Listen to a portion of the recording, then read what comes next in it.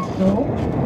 A já tu chci přivítat Honzu Šídláka, tady máme tady opět jednu sportovní vstupku, protože jak jsem zmiňovala, jedná se tady o sportovní areál a samozřejmě pro ty výborné sportovní koníky to nejsou žádné lehké podmínky, kde tady vlajou vlajky, hraje hudba, atypická hudba a jsou postavený uprostřed parkouru různé věci, jako je Roland a stan.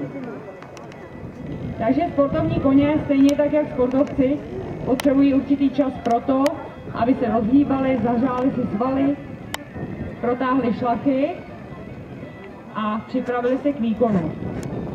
Koník, který ho Honza jezdí, se jmenuje Lepěr. Je to český teplokrevník a má ho v současnou dobu ve skokovém výcviku. Lepěr je koník, který skáče parkury zařazené do L a S, což je 120-130 cm. A samozřejmě v tuhle chvíli se pak nejedná o jednu překážku, ale o počet několika překážek, překonány. Takže během toho ty Honza bude svého koníka připravovat a opracovávat.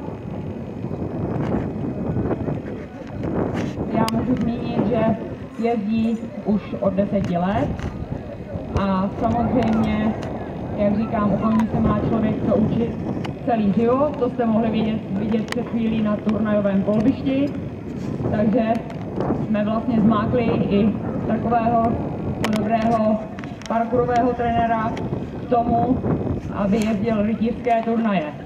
Takže je to ten rytíř Honza, kterého vidíte teď ve sportovním obleku s krásným černým lepěrem.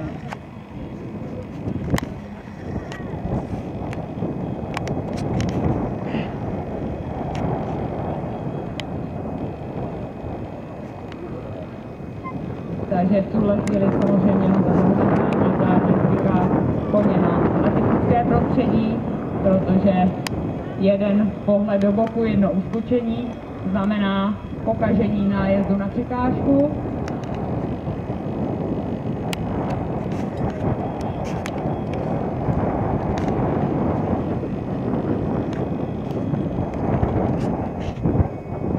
Tak dokola zažívá, tak můžete pomalu zkusit zase trošku toho potlesku, protože na ten zaur se pak tleská decentně. Takže ať si vezme ten svůj doušek slávy přesně tak a ví, co ho čeká, protože my tady máme jinak cvičené publikum.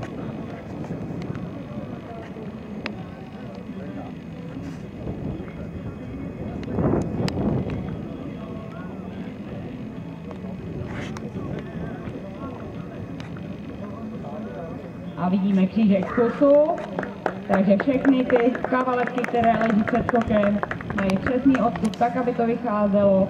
Říká tomu takzvaná skoková gymnastika.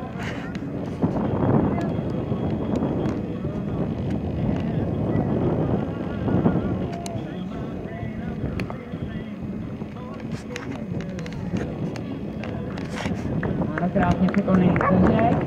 A já vám prozradím samozřejmě i show a filmový koně, mají podobný výcvik, protože i když později skáčou přes auta, v začátku nám musí stočit vidla.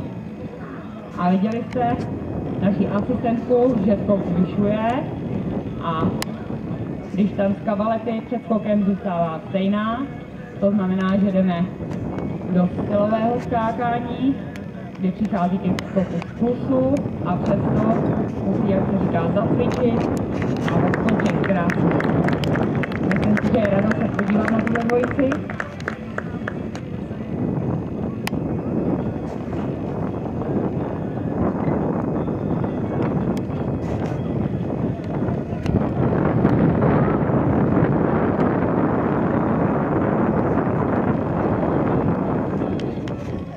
každé chvíli, že Letier se ptá svého pána, co to tady stojí na tom parkouru, co s tím budeme dělat. A on ho znova a znova uklidňuje.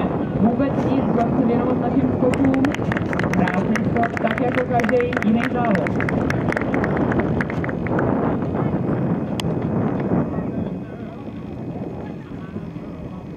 Teď se viděl letní přeskok, takže samozřejmě pokud máme různé zatáčky na parkourech, tak správné je i měnit nohy, měnit levý a pravý sval, tak aby byl optimální pohyb po parkouru a zároveň volná správná odskoková pozice.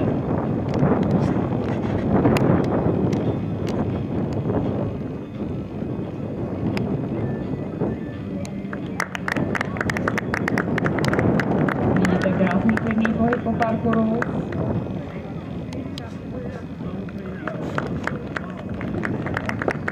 A čistě připravené skoky.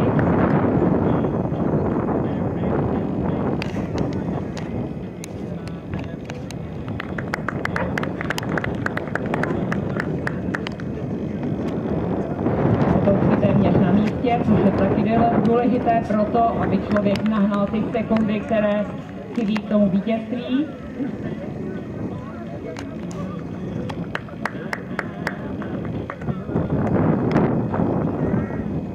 A letní přeskok, to znamená kůl na povíčuje se ve vzduchu, upřemění nohy a vlastně vedoucí se stává levá.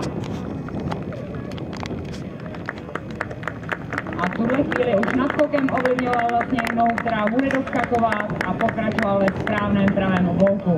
Což je samozřejmě pro tuhle dvojici hračka. Vidím pokles, volný otěže a určitě udělá kolečko Honzí kolem vás, abyste si tuhle krásnou dvojici mohli prohlédnout a odměnit je náležitým aplauzem.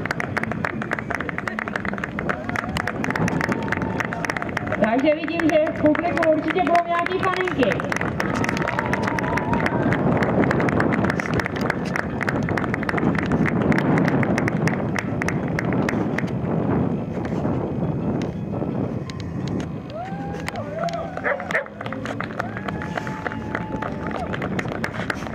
Ano, všichni jste porozuměli, to není o mně, ale je to o mém koni. Takhle nový koňák. Takže my děkujeme Honzovi a podíváme se na další ukázku. A to se trošku teď z toho sportovního anglického světa přesuneme na divoký západ.